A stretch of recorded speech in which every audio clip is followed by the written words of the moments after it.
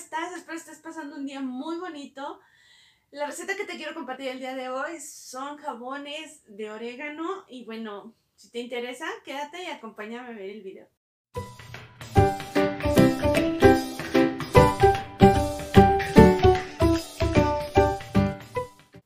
En esta receta vamos a utilizar como base para nuestro jabón un jabón neutro que podemos conseguir en cualquier parte, mercados, super, super, supermercados, farmacias.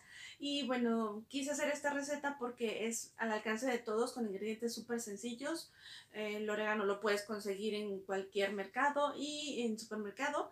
Entonces es muy, muy, muy accesible para todos y te comento las propiedades del orégano. El orégano eh, es una de las hierbas aromáticas más ricas, más utilizadas en nuestra cocina y también en la cosmética natural, ya que las propiedades que tiene medicinales son muy variadas. Es antifúngico, antiséptico, antiespasmódico y, bueno, alivia ciertos tipos de dolores también y es una maravilla. Además que el aroma que tiene es súper rico. Eh, abre mucho el apetito porque cuando pero decimos el aroma del orégano siempre como que nos recuerda comida, ¿no? Pero no es, no es nada desagradable también ponerlo en cosmética natural. Y bueno, estos jabones son una eh, maravilla. Los jaboncitos puedes utilizarlos para lavarte las manos, para tu cara, es recomendado para pieles acnéicas, para todo tipo de piel, solo que en las acnéicas puedes utilizarlo tal vez diario y en las que son pieles de normales a secas una vez a la semana sería perfecto. También puedes utilizarlo en todo tu cuerpo, no hay ningún problema y espero que te guste. Vas a necesitar jabón neutro rallado y media taza de orégano seco. Dos cucharadas soperas de oleato de orégano que también está la receta aquí en mi canal. Utensilios, un pocillo de peltre, no aluminio, un rallador de queso, una cucharita de madera, una espátula de silicón, moldes de silicón son perfectos para esto. Cuando yo empecé a preparar los jabones de eh, naturales, tuve esa inquietud, Siempre me encontraba con la problemática pues de no tener la famosa base de jabón de glicerina y no me gusta hacer la pues, saponificación mm, porque la verdad con sosa y todo eso no, para mí es más complicado y no, no me gusta. Entonces yo de esto. He encontrado algunas otras eh, recetas donde utilizan de otro tipo, a mí no me gustan, este es el que me gusta porque es pues para, es ideal para el rostro o para el cuerpo y bueno, es de una marca que, bueno, es confiable, ¿no? No estamos poniendo los jabones de lavandería ni nada, que a mí la verdad eso no me gusta. Y bueno, por eso siempre les traigo esta opción y esto es media... Esta es una taza, perdón, completa de jabón rallado. Y bueno, vamos a ponerlo aquí en nuestro recipiente. Este es especial para los jabones. Vamos a ponerlo al fuego muy bajo. Ok, espero que se alcance a ver. Es fuego muy, muy bajito. Y eh, para ayudarle al jabón a que se derrita, siempre es necesario algo líquido. Yo voy a poner agua destilada. ¿Qué cantidad de agua destilada? Este es un vasito medidor de esos que dan para los jarabes de los niños y son 5 mililitros. Yo voy a ir poniendo de 5 en 5. ¿Por qué? Porque no quiero que sea mucho y el jabón se nos empiece a espumar. Solo es para ayudarle un poco a, a derretir. Ajá. Y aquí voy a estar al pendiente hasta que empiece a derretir. ¿Ok? Trata de hacerlo todo con, con cucharitas de madera. Tienes que estar súper, súper al pendiente. Y cuando, mira, cuando tu jabón se empiece como a juntar, ese es el momento indicado en que le vamos a poner el aceite. Este es aceite oleato de orégano. Y le voy a poner dos cucharas soperas. En este caso, pues sí voy a utilizar estas porque eh,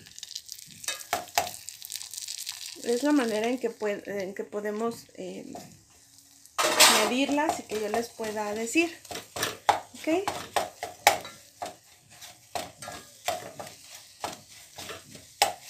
Voy a añadir otros 5 mililitros de agua destilada porque necesito que esté un poco más líquido. No. Ahora voy a poner el orégano. Con 20 mililitros estuvo súper bien. Y esa es la consistencia que vas a tener. Entonces ya ahorita le apagamos.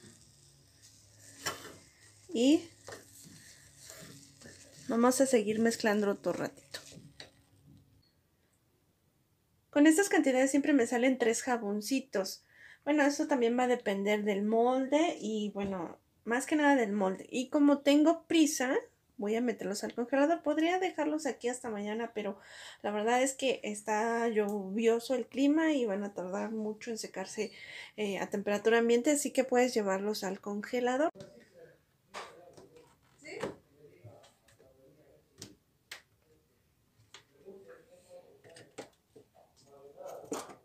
En unas dos o tres horas van a estar listos. Vamos a desmoldarlos. Con estos es súper fácil desmoldar. Y bueno, si los ves así es porque tienen el aceitito, el oleato de orégano. Y mira, qué bonitos quedan.